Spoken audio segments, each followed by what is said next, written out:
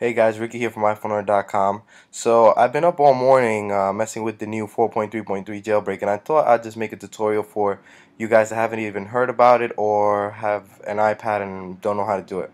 Uh, I'm not going to be using an iPad today, just going to go straight into it.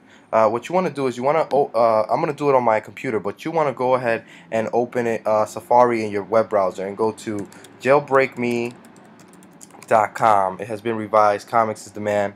Uh, and when you go to jailbreakme.com on your iPad, iPhone, iPod, whatever device you choose that's on 4.3.3, all you got to do, there'll be a, a, button right around here that says free. You tap that button and then you tap install again, and it's uh, it's like a two minute, it's not even a one minute process. It just go it installs on your home screen and everything is perfectly fine. Now this does work on the iPad too. It works on the iPad, all generations of uh, well, iPod 2G, uh, 3G, and 4G, and 3GS and 4 uh, iPhone 4. So that's about it. That gives you the jailbreak off the bat. No messing with firmware, no messing with nothing. Please be sure to check out iPhoneNerd.com as we we are relaunching, and I know this the the page is all all over the place and it says launch and whatever, but we are going to be relaunching sometime tonight. Uh, thank you guys and have a very very great day. Remember, comment, rate, and subscribe, and click the like button if you like our videos. Thank you.